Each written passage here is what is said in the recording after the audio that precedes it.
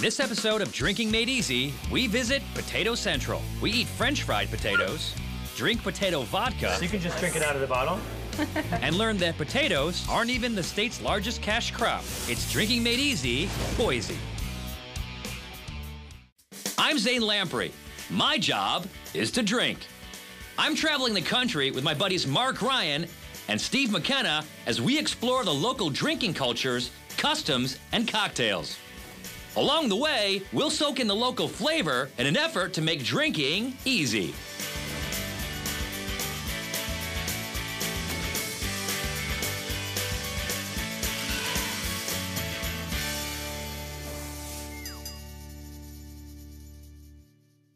Life in Boise has a nice, easy pace, but at Chandler's, I'll learn why it takes them 10 minutes to make one martini. This is a 10-minute martini. Okay. It takes 10 minutes to make.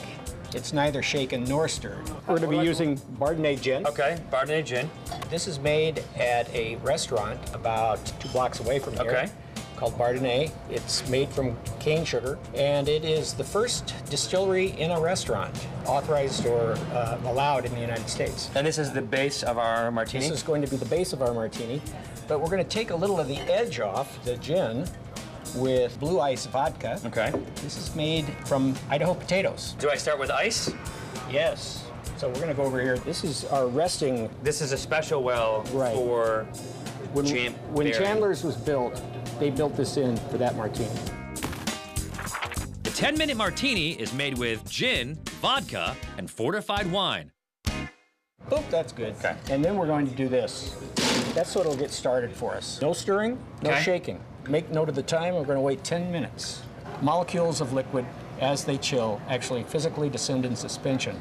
the molecules will slow and push the other ones push up. So you're getting very slow. Convection?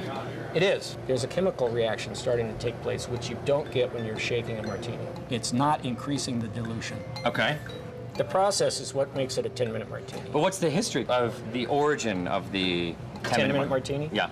It was uh, 40 years ago in Laguna Beach. This uh, fella that I knew, he says, I want a martini.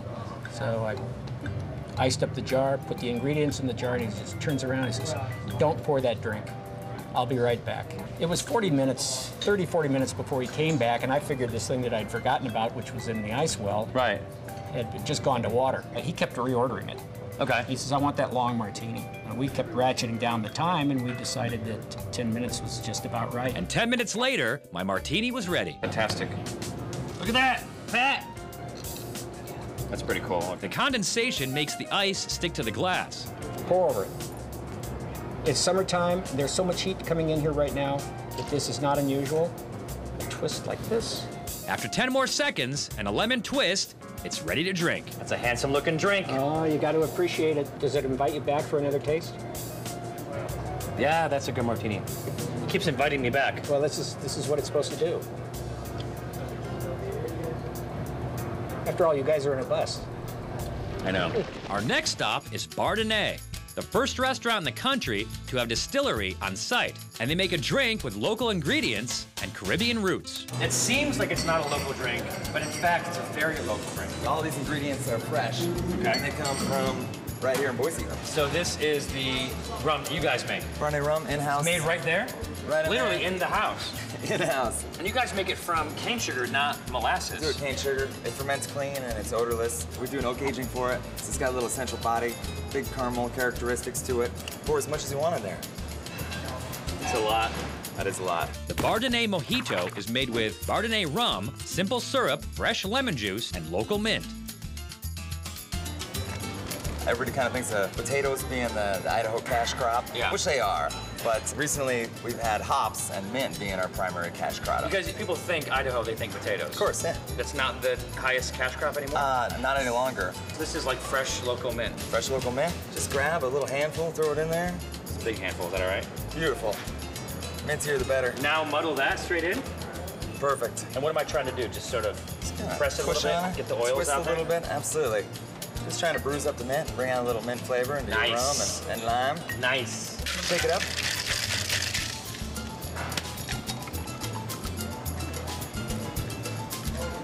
Wow, you were right. Beauty. Straws. Kick it a little ass. That's your It has creation, my four man. ounces in it. Is that how you guys make it?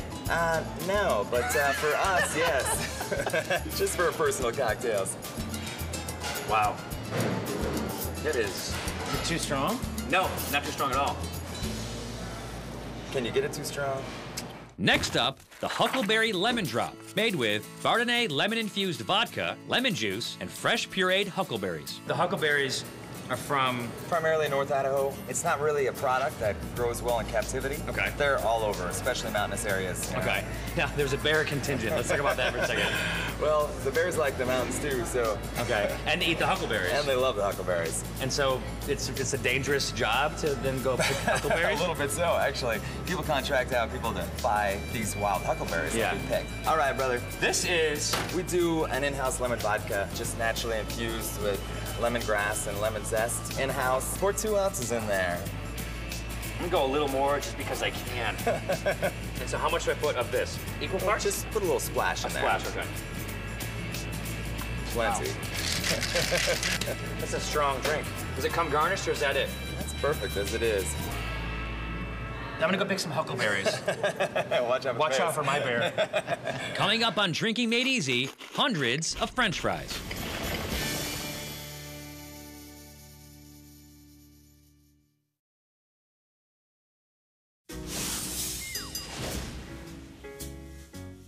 Drinking Made Easy isn't just a TV show, it's also a drinking game. Yeah. So you can actually play along at home. You can drink along with us. For example, rule number one, if you're the first person to see Pleplius hiding somewhere in the show or out in the open, you can make someone else drink. Rule number two, if we mess up on our continuity, something's not quite the same from one shot to the next, you get to make someone drink. Rule number three, when we challenge each other, pick a side. If you lose, you drink. To have these rules explained and for more drinking rules of the show, go to drinkingmadeeasy.com. Oh, please, please, you have to drink. Yeah.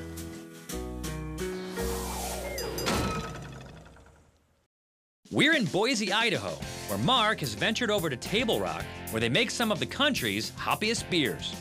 What does the name Table Rock come from? It actually refers to a mountain right out here in the east, uh, right outside of town. I can see it. You guys are kind of known for hoppier type beers. Is that just a Boise thing or is that your thing? I think it's a Northwest thing. If, it's, if it's not hoppy, you can't sell it. In Idaho, they grow a lot of hops. It's, it's one of the uh, largest production regions. This is actually the leaves of the hops, dried. Now, what do you do with this?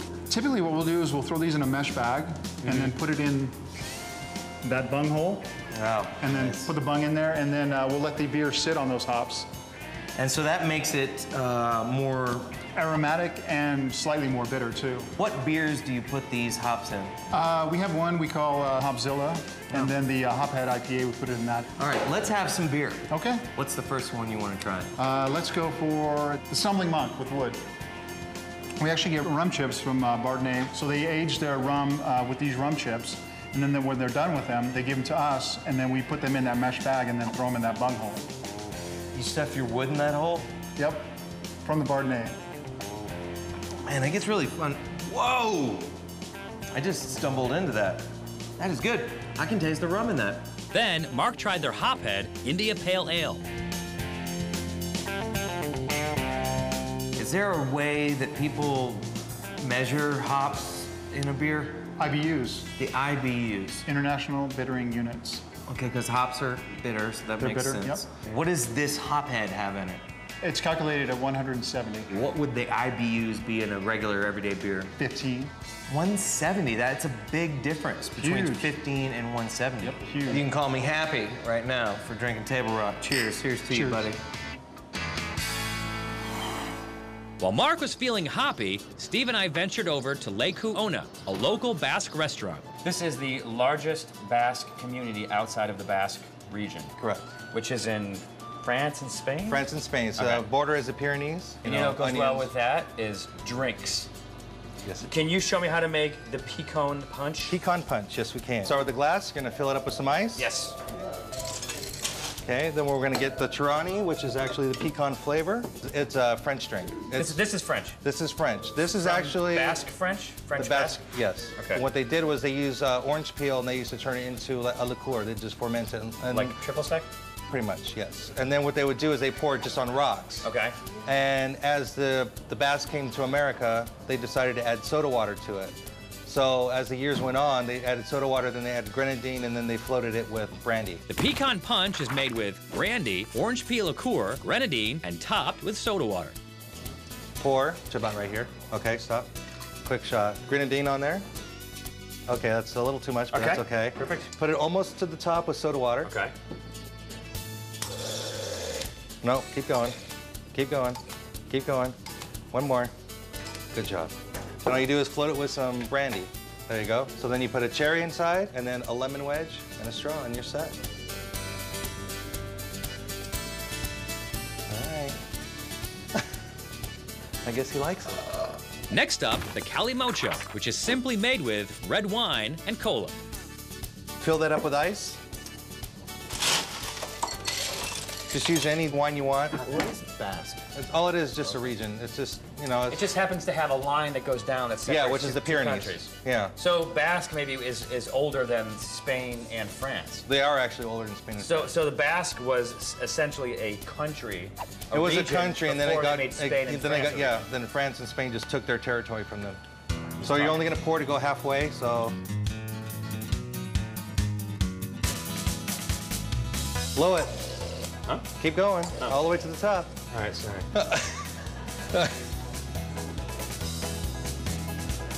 That'll give them a frame for you. You want to race me in this? Yeah. Like a, like a rum and cola.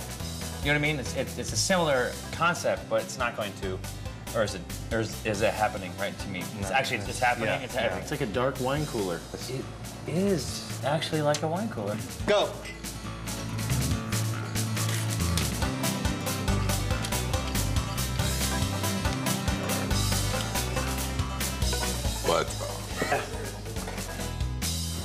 Next stop is Donnie Mac's Trailer Park Cuisine for Steve's eating challenge that I've made mine by beating him consistently. I'm going to challenge you to a duel. On today's menu, Donnie's couch potato fries. Thanks, Donnie.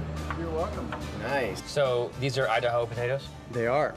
And um, what's the significance to potatoes in Idaho? Uh, J.R. Simplot uh, Who's that? started, uh, he's the guy that started uh, actually supplying most of the, the uh, uh, fries to McDonald's Oh wow. back in the 60s. Oh, so, and he was based out of Idaho. was- yeah. Do you think that he was the reason for the boom in uh, potato farming? Yeah, he definitely was. Have you ever been on an alpine slide before?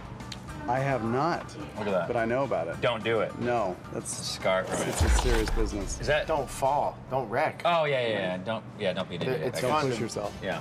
Can we get two beers? Absolutely. Awesome. Sweet Water? Sweet grass. There you go. Sweet. Good luck. Let the games begin. Today, Lamprey and McKenna will see how many french fries they can eat in 10 minutes. McKenna's the wild card because he hasn't won an eating challenge yet. So the smart money is going on Lamprey. Zane, the garbage disposal Lamprey, starts off with a bang, making it very difficult for his opponent to keep up. Where you at? 112. Who you at? 150.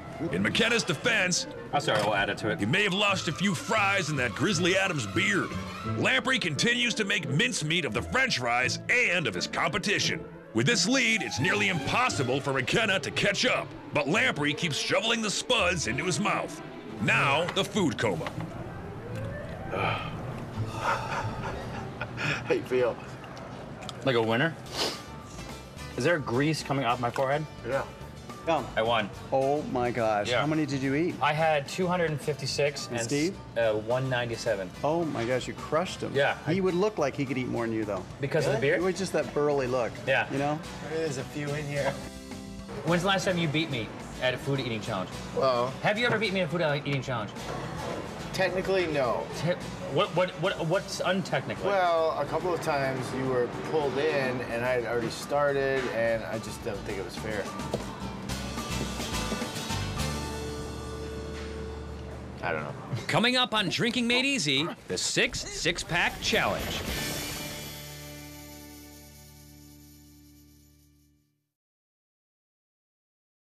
We're in Boise, Idaho, where our next stop is Bitter Creek, where we're diving into some local bitter beers. This is an IPA from Highland Hollow. It's lighter on the IBUs, so it tends to be more like a hoppy brown. It's nice, though. It's easier drinking. This is called an IPA, but it's cloudy. Right. The hippie shake. Cheers. Cheers. Next up, Sockeye Brewing Company's Helldiver. Pale diver? Yeah. This is a more flavorful pale ale. Wouldn't a more flavorful, hoppy pale ale be an IPA? Mm. Well, there's lots of discussions of thought on the IPA. So I'm not off base by No, my... not at okay, all. Okay. IPAs are strictly defined by really, you know, hoppy, really, Okay. and and, This is hoppy. uh, and up on the bitter too. This is up with the bitter. In comparison, I'll show you their IPA because I got it next. They have an IPA? They have an IPA, and it's not this. Can we try their um, IPA? Oh yeah. All right, so this is Sockeye Brewing Company. Mm-hmm. This is their Helldiver, Right. which sounds mean. And this is, Dagger Falls. This is the IPA. let me taste this one first. Again, another regional kind of thing. Yeah, and this is gonna taste like a light beer after this one. Mm. Rocks. Holy, that's hoppy. This tasted to me like an IPA. Yeah, but now it's gonna taste a lot lighter because you've had that hop in your mouth. This tastes very, this is very Mm. See, now it's an amber. hoppy. Really? Sorry, the Dagger Falls just eats my taste buds alive. But I'm not, you know, I'm not a ho- hop head. I, I like my stouts. Yeah, that tastes like weed. yeah, Is it possible that that's the hoppiest beer I've ever had? it's possible. Yeah, I mean, if you haven't been to this region before, it is. That it is beer's from this region. ramped up. But but did you try that hop head earlier?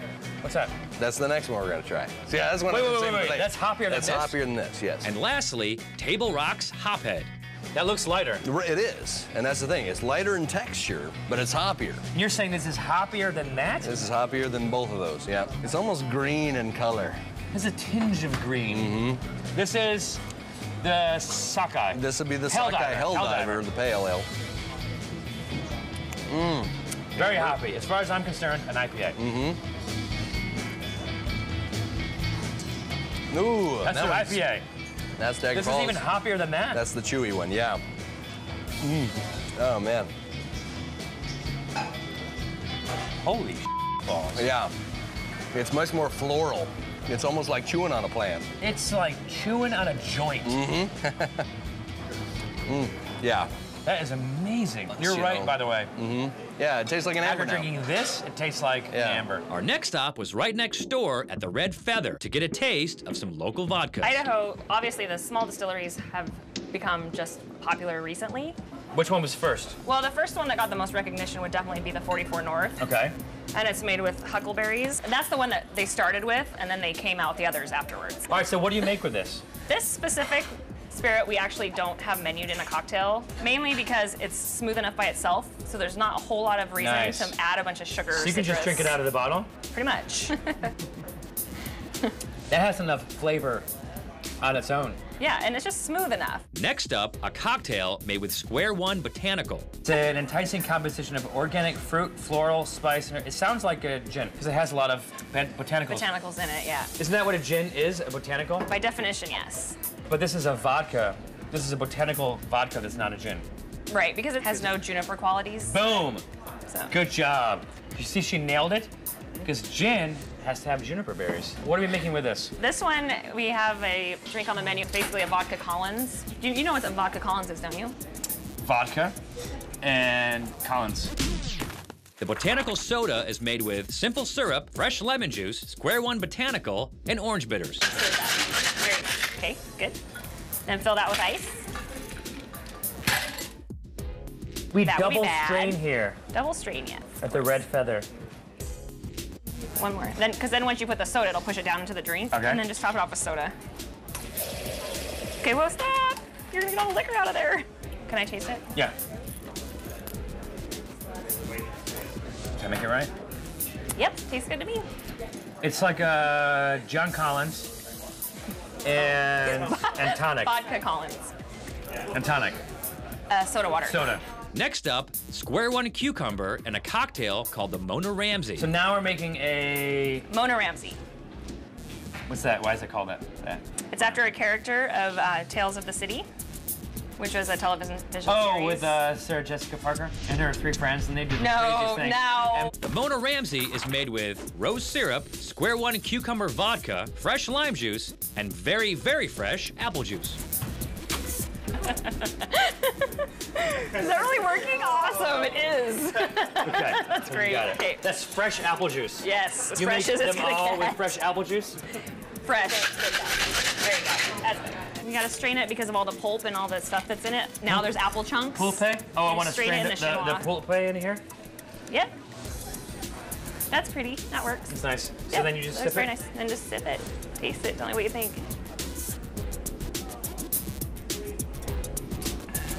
That's really fresh. This is what the we're going freshest for. drink I've ever had. I think it was a fresh squeezed apple. Definitely was all the manpower. We're here in Boise, Idaho. Yeah, Boise.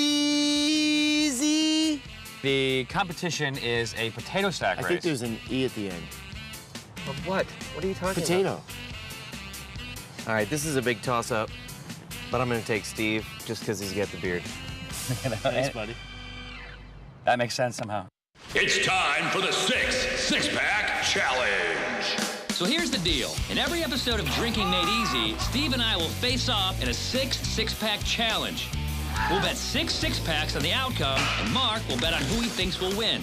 Whoever wins the challenge gets six six packs of beer. For today's six six pack challenge, Lamprey and McKenna have to chug a beer and then hop to the finish line in a potato sack.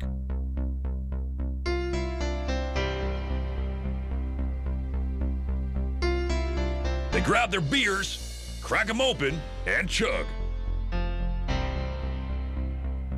Lamprey's done first, and he properly disposes of his bottle. And Lamprey's off. McKenna finishes his beer and takes chase.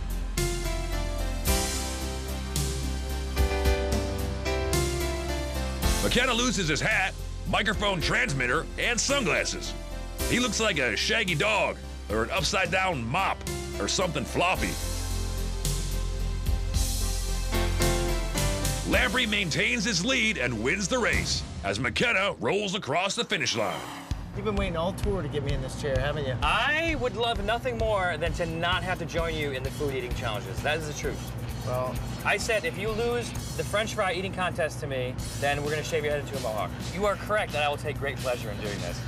but we are going to oh. Mr. T-ify you. come on. And you can't say pity the fool because he has a copyright on that. Whoops. Look at that. Look at that. Ow. Yeah, you got a mole there, buddy. Sorry. But that removal was free. Yeah.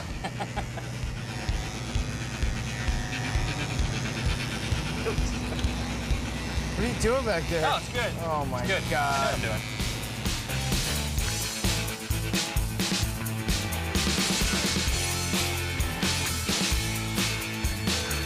For more videos and cocktail recipes, go to drinkingmadeeasy.com.